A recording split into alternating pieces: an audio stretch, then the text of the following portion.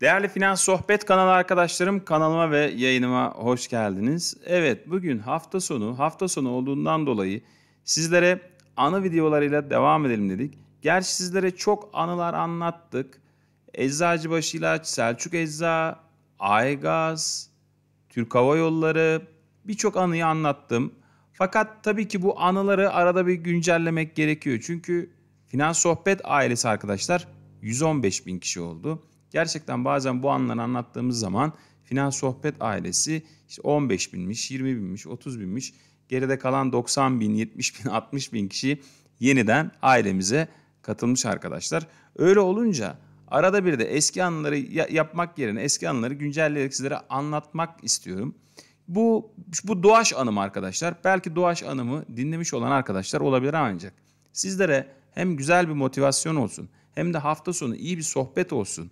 Kahvelerimiz okkalı, çaylarımız demli olsun. Bir borsa sohbeti dinleyebilirsek iyi olur.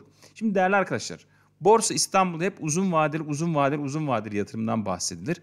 Ancak uzun vadeli yatırımcı olmak çok güçlü bir psikoloji gerektirir arkadaşlar. Çünkü neden? Çünkü bunlar menkul kıymetlerdir arkadaşlar. Menkul kıymetleri elinizin altında tutmak çok zordur. Çünkü onun hemen anında karşılığı nakit bir değerdir. Böyle olunca arkadaşlar insanlık hali hayatta her zaman her, her zaman bir şeye nakit ihtiyacımız olur. Yani Allah korusun hastalanırız şifa bulmak için. Ne bileyim kaza ederiz işte araba kaza yapar ona bir nakit bulmak için. Veya çocuğun okulu olabilir, çocuğun taksiti olabilir, çocuğun e, evlendirmek olabilir, çocuğun eşyası olabilir. Veya bir ev yenileme olabilir. Yani hayatın akışında herhangi bir şekilde nakit akışına ihtiyacımız olduğu zaman aklımıza direkt gelen şey menkul kıymetlerdir. İşte nedir?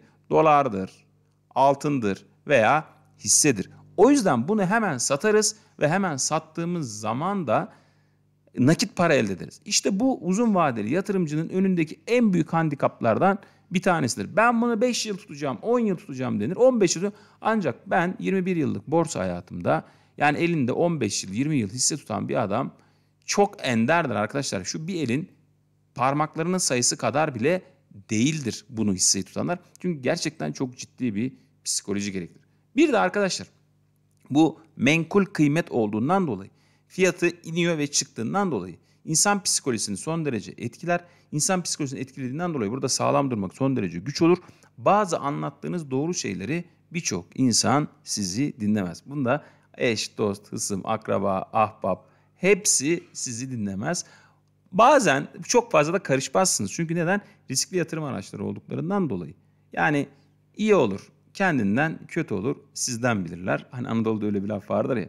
O yüzden fazla müdahale edemezsiniz. Ancak şimdi arkadaşlar 2020 yılıydı sanırım. 2020 yılında bundan 4 yıl önce bir arkadaşım Passat alacaktı arkadaşlar. Volkswagen Passat. O zaman da biz ben çok iyi hatırlıyorum. Doğuş Otomotiv 11 liralara 12 liralara gelmişti. Biz de dedik ki ya Doğuş Otomotiv 12 liralara gelmiş de 9 lira olsa da evi mevi arabayı satsam ben Doğuş Otomotiv alsam. Pandemiyle beraber bu 2018 Ağustos'ta dolar kriziyle beraber dolar 3,5 liradan 7,5 lira olunca euro da ona paralel fırlayınca şöyle bir dedikodular dönmeye başladı. İşte Türkiye'de enflasyon çok hızlı arttı.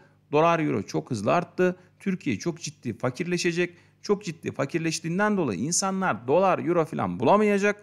Dolar euro bulamayınca da efendim işte bu lüks segment getirilen arabaların hiçbiri Türkiye'de satılamayacak ve bu şirketler hatta iflasın eşiğine bile gidebilir diye bir dedikodu böyle bir fısıltı gazetesinin şeye döndü.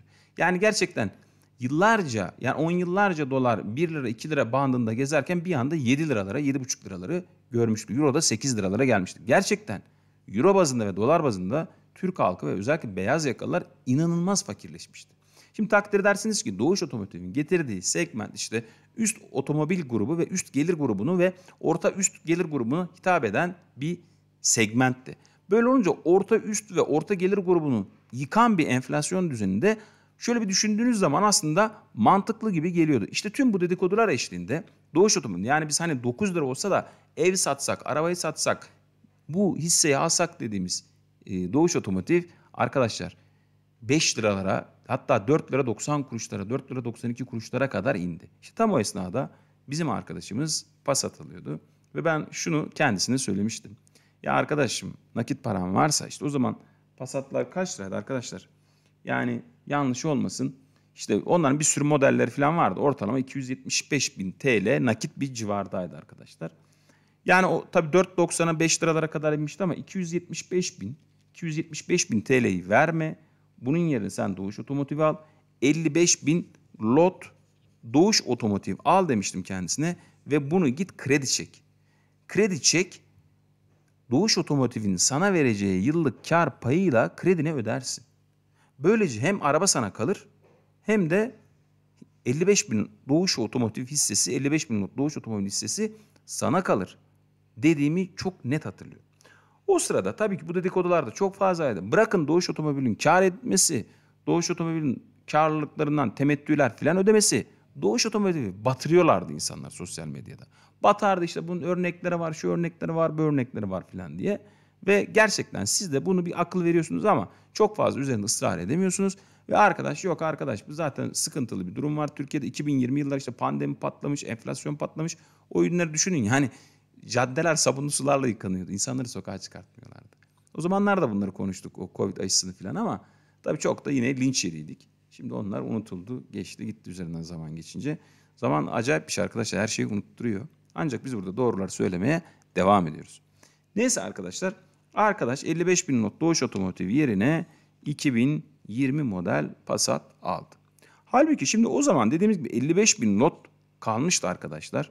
Şimdi 55 bin nota ben baktığımda 2021 yılında 2 lira 30 kuruş şey e, Doğuş Otomotiv e, kar payı vermiş. 55 bin not çarpı 2,30 dediğimde 126 bin 500 lira yapıyor. Daha sonra 2022 yılında hisse başına 10 lira kar payı vermiş. Oysa 2020 yılının Mart veya Nisan ayıydı hisse 5 liraydı. 5 liraydı. 10 lira verdiğimde o zaman 2022 yılında da 550 bin TL kar payı almıştı arkadaşlar. Daha sonra bu 2023 yılında Doğuş Otomotiv'e baktığımda 23 TL hata yapmadıysam 23 TL kar payı vermiş hisse başına ve 55 binde çarptığında 1 milyon 265 bin TL nakit Doğuş Otomotiv kar payı vermiş.